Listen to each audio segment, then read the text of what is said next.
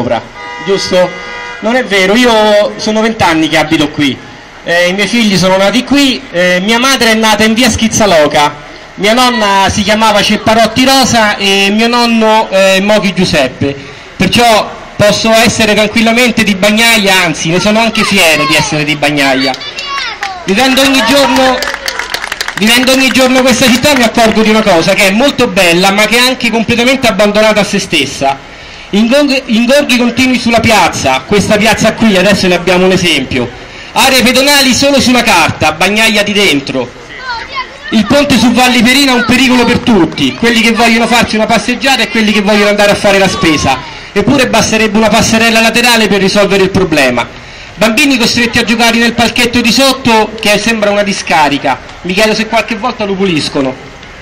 Le scale che collegano Valle Pierina alla villa sono completamente abbandonate, ci sono erba alta, cartacce e addirittura una volta ci ho trovato anche eh, dei pneumatici.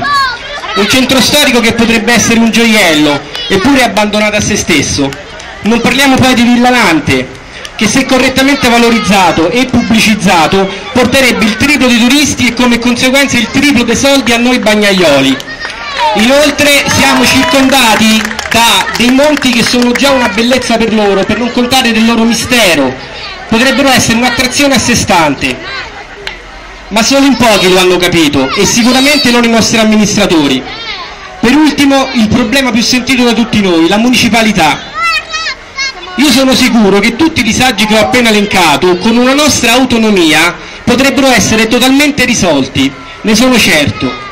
Ora potrei dirvi se votate Viva Viterbo tutto verrà risolto e finalmente diventeremo comune, ma non è nel nostro stile. Noi non cerchiamo voti con la classica promessa elettorale, però una cosa ve la posso dire con certezza, se Viva Viterbo vince, se avrete fiducia in me, io lavorerò giorno e notte per vincere le battaglie che Bagnaia ormai da tanti anni porta avanti, perché sono abituato a lavorare giorno e notte, perché sono abituato a fermarmi solo quando ho conquistato il mio obiettivo, è nel mio carattere.